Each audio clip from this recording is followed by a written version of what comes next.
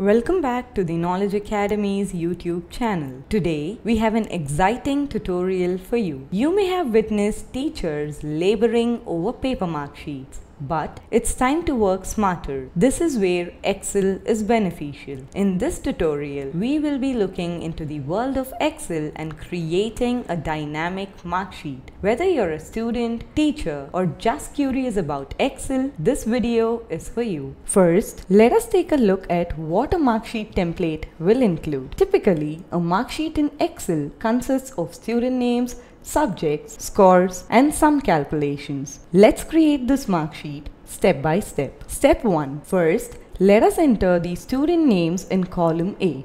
You can list as many student names as you want. Step 2. Next, in row 1, starting from column B, enter the subject names. Step 3. Now, Fill in the scores for each student under their respective subject columns. Let's enhance the mark sheet with conditional formatting. Here's how you can do it. Step 1. Select cells. Step 2. Go to Home, Conditional Formatting, Highlight Cell Rules, Less Than. Step 3. Select the passing marks let's say 50 out of 100 and choose a color. We will use red to indicate those students who failed. Step 4. Click OK. To determine students' total marks, use the sum function. Here's how you can do it. Insert the formula into the designated cell. Syntax options, comma method equals sum, open the bracket, B2, comma, C2, comma, D2 Close the bracket. This method sums up the values in cells B2, C2 and D2 together. Colon method equals sum. Open the bracket B3 colon D3. Close the bracket.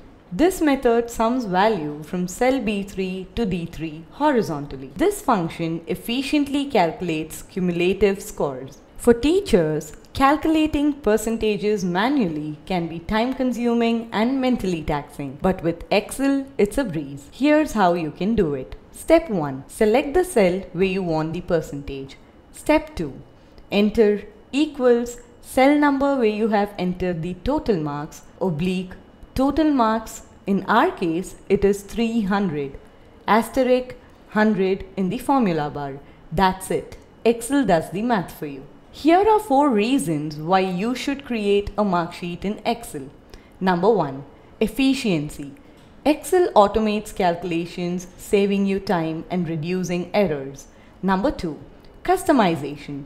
You can tailor your mark sheet to fit your specific needs. Number three, analysis. Excel provides tools to analyze and visualize data easily. Number four, Accessibility. Your mark sheet can be shared digitally, making it accessible to others. And there you have it, a dynamic mark sheet in Excel. We have covered everything from setting up the template to performing calculations and even discussed the benefits of using Excel for this task. Don't forget to practice and explore Excel's features further. The more you use it, the more proficient you will become. If you enjoyed this video, hit the like button and subscribe to the Knowledge Academy's YouTube channel for more exciting and informative content. Don't forget to turn on notifications so you never miss an update.